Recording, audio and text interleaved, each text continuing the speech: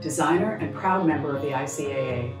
Welcome to the second in this Classicism at Home video series on the restoration of Ardrossan, an iconic early 20th century Georgian revival masterpiece by Horace Trumbauer, which was built in 1912 for the Montgomery family.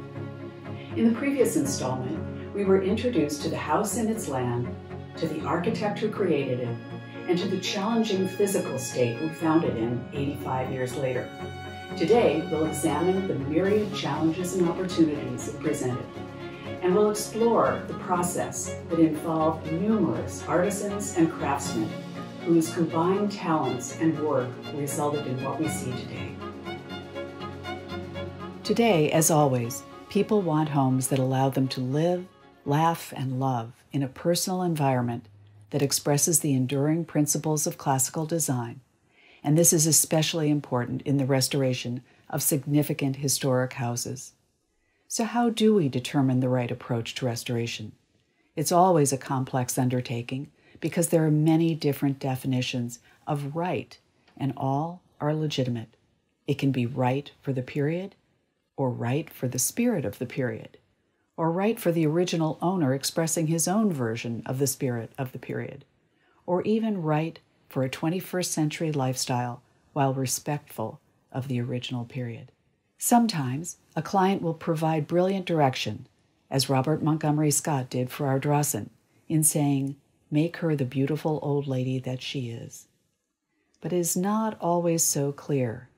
Sometimes we must search for clues to discover the spirit of the building and uncover its uniqueness. Only then can we create a narrative that describes something memorable, something enduring. And here's a case in point. At the same time that we were restoring Ardrossan for the original family with every element of furnishings intact, we were also restoring Portledge, another Trumbauer work built just two years before. Here, though, our client was a 30 year old bachelor starting with a completely blank canvas. The process of defining the goals, evaluating options, and acquiring collections was radically different.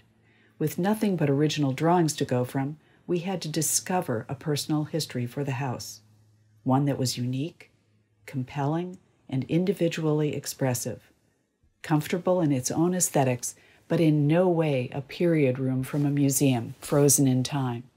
After all, even the most ardent historic house enthusiasts blanch at the idea of living only by candlelight.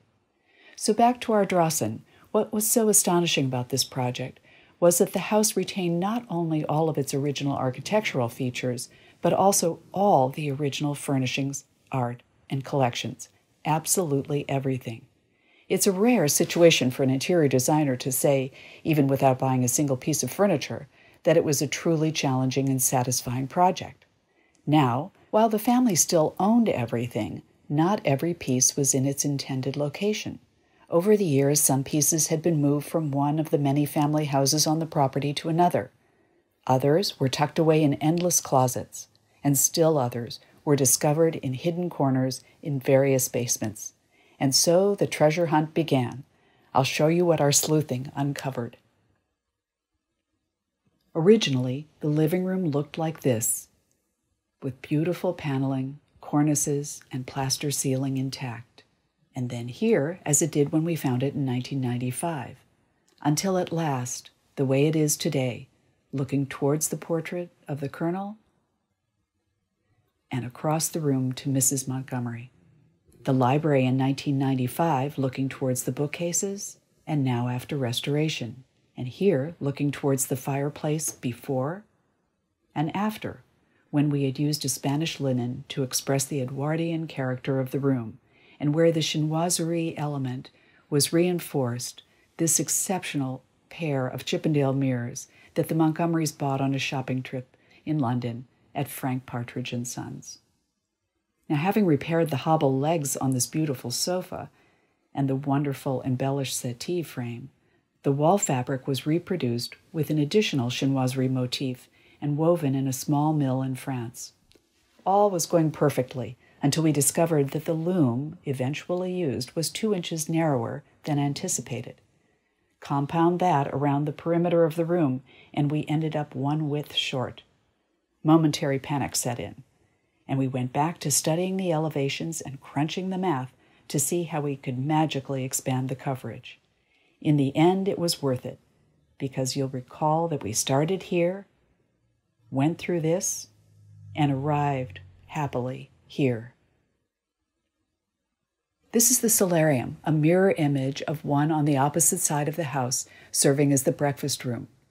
And the restoration of the stone in this room employed a series of conservation efforts, from applying poultices to wet brushing, and finally a fine spray of glass beads, which is much softer than sandblasting, to arrive at this stage of mellowed patina.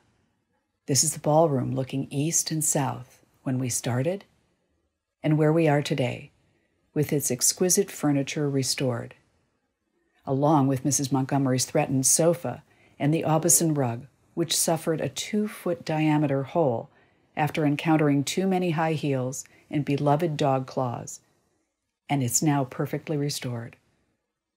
And looking north, you'll recall the sad state of the silk covered chairs and leather topped tables, and as restored with every element cared for, but restored with the lightest possible touch.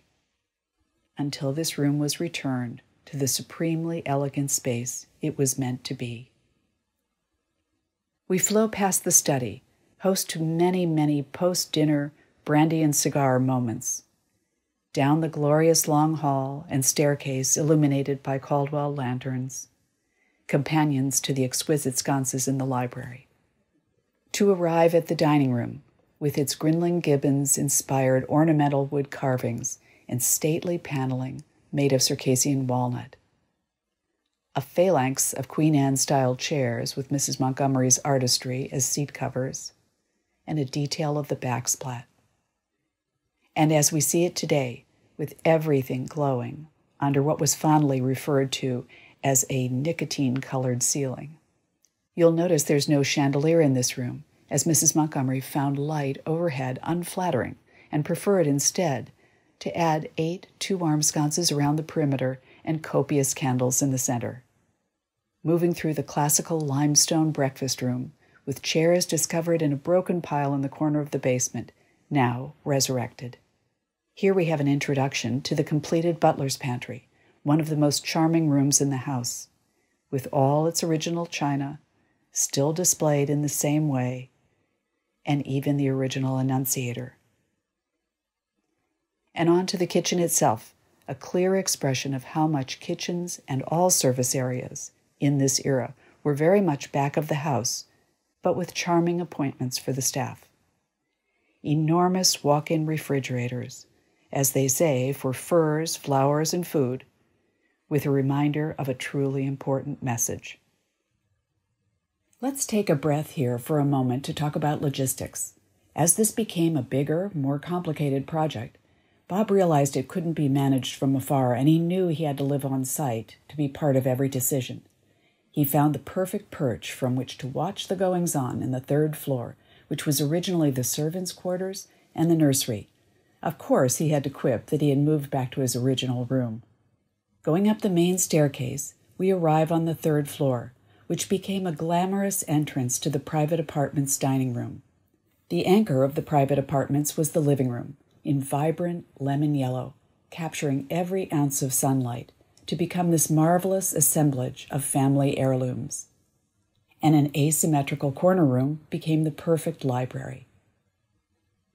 On to the private dining room, host to so many splendid evenings, which opens onto an arched bedroom hall with pastoral landscape walls inspired by the grounds, to the handsome master bedroom and guest bedrooms and the quintessential early 20th century bathroom. Thank you for joining us, and please come back for our final video when we put everything into context and reflect on the future.